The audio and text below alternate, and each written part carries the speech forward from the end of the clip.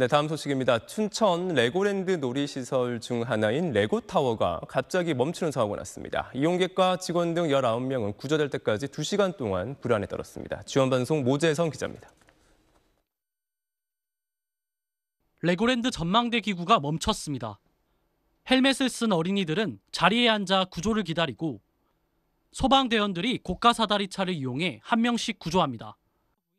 오후 12시 35분쯤 춘천 레고랜드 레고타워 전망대가 25m 지점에서 멈춰 이용객이 갇히는 사고가 발생했습니다. 43m 높이의 레고타워는 원형 기둥 안에 이용객들이 타고 오르락 내리락 하는 기구입니다.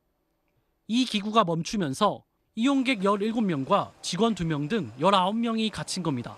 뭐가 내려오는 것 같은데 갑자기 쾅 소리가 나더라고. 그러더니 직원분들이 여러 명이 나오셔서 어, 뭐 시스템에 이상이 생긴 것 같다고. 구조는 약 2시간여 후인 오후 3시 8분쯤 완료됐지만 이용객들은 불안에 떨어야 했습니다. 레고랜드 놀이기구 사고는 처음이 아닙니다.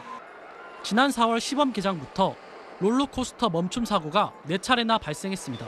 지금 뭐 큰 사고가 안 나서 다행이지 만약에 뭐 인명 피해가 생겼다든지 그렇게 되면 예, 심각한 상황이니까 레고랜드 측은 멈춤 사고가 잦은 일이라는 반응입니다.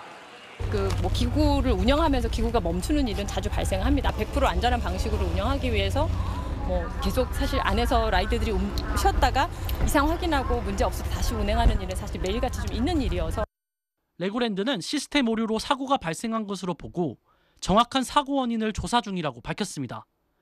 지원 뉴스 모재성입니다.